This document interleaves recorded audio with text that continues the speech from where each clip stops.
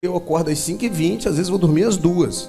E às vezes eu durmo 4 horas, às vezes eu durmo 3 horas, às vezes eu durmo 2 horas, mas foda-se, eu vou pra frente. E ele veio e falou para mim, cara, você vai arrebentar com a tua saúde. E, cara, o cara só falou coisa negativa e defendeu que tem que dormir 8 horas por noite o tempo todo.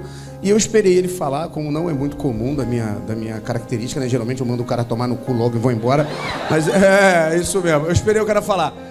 E depois o cara falou, eu falei, cara, então a gente tem um problema. Olha só, olha pra mim, que sou mais velho que você, olha pro meu corpo, olha pro teu, você tá com essa barriga ridícula, você tá todo gordo.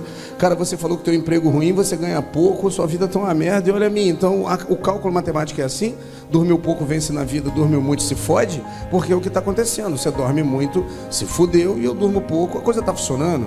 Eu tenho certeza que eu sei o que, que a maioria de vocês ouviram no decorrer do processo de estudo. Mesma coisa que eu ouvi desde o tempo que eu estava sentado aí, que faz bastante tempo.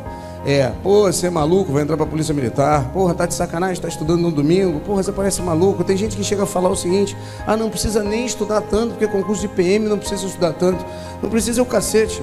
O último concurso da Polícia Militar aqui foi um dos mais difíceis do Brasil. A nota de corte foi lá no teto. Não existe mais esse negócio de ter que estudar pouco, isso acabou. Essa coisa de que, ah, eu vou estudar um pouquinho, você vai se fuder. O negócio está profissionalizado. E quando você resolveu fazer alguma coisa na tua vida, e isso não era eu para estar tá falando para você, era teu pai, era para tua mãe, era alguém da tua família, era para ter levantado e ter falado essa porcaria para você. Falado, cara, aos 16, 17, 18, 19, 20 anos, está na hora de você resolver a tua vida.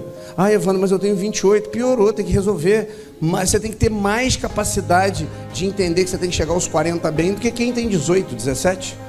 Porque não é o normal? Como aqui, é uma, como aqui é uma cidade muito grande, eu não sei se isso é o normal de cidades pequenas, mas quem veio, quem, alguém aqui veio do entorno de uma cidade pequena? Levanta a mão aí.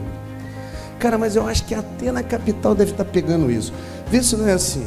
O puto faz seus 20, 21 anos, 22 anos, compra um Corsa, bota um aro 17, uma porra de um som desgraçado na mala, toma uma cerveja, come uma menina feia e porra tá arrebentando. É ou não é? É isso mesmo, cara. E aí você faz o seguinte: você pega uma pessoa orientada e uma pessoa desorientada, que é isso que o Alfacom faz com vocês.